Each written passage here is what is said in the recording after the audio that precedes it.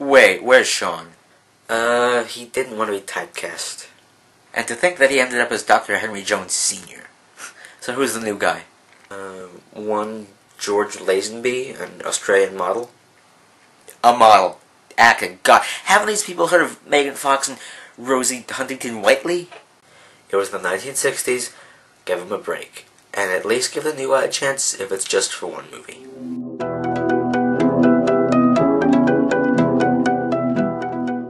So Bond has been on the trail of Blofeld for some time now, a year in the novel and two years in the film, but to no avail.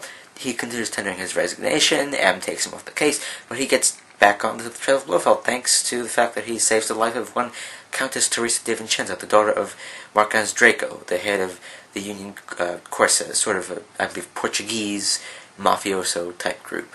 Bond is brought before Draco and is given the proposition of courting and marrying Tracy in Draco's effort to calm her down, normalize her, that, that sort of thing, if you will.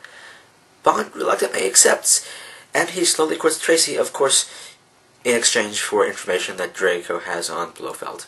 So they part ways, and Bond goes after Blofeld in the Swiss Alps. Since we last saw Blofeld, he's gone under massive plastic surgery, and it seems like he's trying to turn over a new leaf by claiming to be descended from some sort of royalty. So Bond goes undercover as a London College of Arms genealogist uh, with the title name of Sir Hilary Bray in an attempt to draw him out. Bond does some investigating and discovers that Blofeld is up to germ warfare through hypnosis to cure allergies. A mite outlandish, if you will. Anyways, Bond escapes the resort, reports his findings, and calls in Draco and his cavalry to take down the mountaintop resort. The cavalry does so, and Blofeld escapes with Irma Bunt, his personal secretary. So, Bond closes the case, marries Tracy, and they're driving away on their honeymoon when Blofeld pulls a hit and run, killing Tracy. On one hand, you've got a 1963 novel that precedes and directly affects You Only Live Twice. Meanwhile, on the other hand, you have a 1969 Peter Hunt helmed film that follows You Only Live Twice and really doesn't show too much in the way of continuity from that, unless, of course, you consider the mission souvenirs that Bond goes through in his desk and the clips that they show in the title sequence. And I guess you could also consider the uh, the fourth wall breaking slash tongue in cheek sort of line from the beginning of the film. This never happened to the other fella. However, Blofeld doesn't recognize Bond. Does this mean that Bond's a Time Lord? No. Regardless, the plastic surgery that Blofeld has had allows for Teddy Savalas to take over for Donald Pleasence. Uh, does anyone know who these actors are nowadays? Sure. Kojak.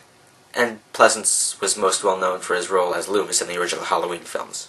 But as for an adaptation, it's fairly faithful, albeit some scenes were switched around a little bit, a few scenes were added, the character of Tracy was bulked up, and you know, Blofeld's scheme is a little bit more global, among other things.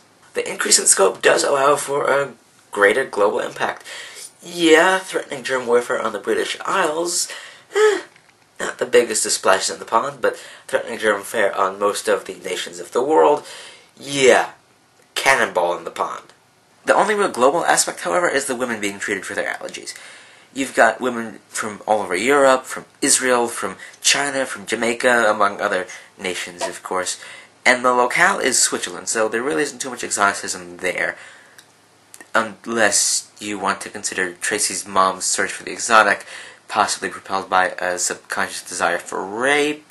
As for the women apart from Bunt and Tracy, well, Bond them, I guess, as side missions or bonuses that don't really matter, if you will. They're described as being one-dimensional and rather dumb or ditzy, or what have you. Side mission complete. Seduce at least one curious or interesting woman to earn their trust, gain some bonus intel, or what have you, even if it means reusing the same pickup lines. Tracy is simply a stronger character in the film. She's more prevalent, for one, and you get to see more of her evolution during their courtship as she goes from loveless and possibly manic depressive to balanced, and well, more balanced at least, and in love. Uh, still a risk taker all the while. She doesn't disappear partway through the novel as Bond is setting up the mission and investigating Blofeld. Plus, she defends herself against Blofeld's goons when the cavalry invade the mountaintop resort to take out Blofeld and rescue Tracy. And plus, she's played by Diana Rigg, who's best known for her work on The Avengers, and don't tell me you don't know what Avengers I'm talking about. I do. However, you lose a bit of Tracy's backstory. Yes, you get her marriage through an Italian count, but there's a difference between finding out that your husband died in a Maserati with his mistress versus abandoned you and left you with a baby daughter who died of spinal meningitis. As for Irma Bunt, she's described as being a mannish yet matronly sort of wardress. Probably a little bit better than Rosa Klebb in From Russia with Love.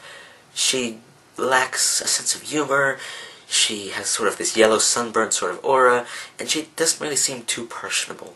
Working back to Bond, we come to the middle ground of gender, sexuality, and identity issues. There really isn't much overall in the novel, but the women that they resort in the film take Bond to be gay initially, among other things, because he's bookish, doesn't show much of an interest in them, and they kind of think of him as being allergic to them. But he surprises two of them. As for Blofeld, he's described as having a bit of a gay lilt to his voice, but he hasn't really posed a threat to Bond's sexuality. And neither does Draco, even though, of course, Bond develops uh, a respect and love of sorts for him. And Bond, of course, does get married, so he really doesn't do much policing of gender, sexuality, or identity boundaries in this film.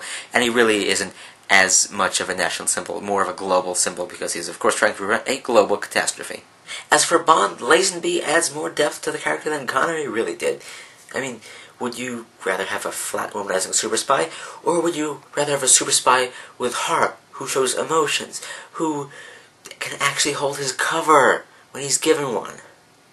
I'd personally go with the guy who can hold his cover, and who is driven by more than just sex, and who actually wants to provide for his wife rather than, you know, be in debt to her father.